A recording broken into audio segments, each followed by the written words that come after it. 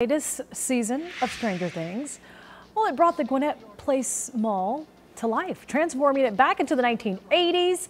That was the heyday of malls, but now malls, we all know, they're dead. Just like it was in the show, Gwinnett Place Mall used to be the place, uh, used to be one of Gwinnett County's premier shopping destinations, and now the empty mall is up for sale. CBS 46's Ashley Thompson has new information about the, what the future of that 39-acre site could hold. 562,000 square feet of mall space is for sale, everything but the Macy's and the Mega Mart. We're in a prime location and many believe there is a lot of potential for this property. It was a good mall, but not no more. Gwinnett Place Mall is now for sale, though there's no set asking price. I think it's probably worth two million. For the area, I can say 2.5 mil or something like that, yeah. The listing agent, Colliers International, may be hoping for a bit more. I asked Senior Vice President Tony D'Ambrosio about the property's potential. Sort of the sky's the limit. You know, is there a residential component? Is there a commercial component? Is there an entertainment, sports venue component?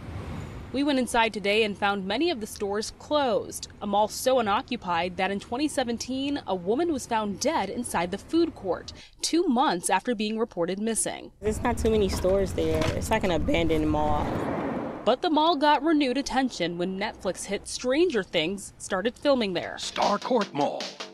The main shopping group has in the past always been teenagers and teenagers are now digital natives. They're For insight on the decline of enclosed shopping malls, we went to Ellen Dunham Jones, a professor at Georgia Tech who specializes in architecture and urban design. We've lost about a third of the 1,500 properties that at one time in the U.S. were an enclosed mall.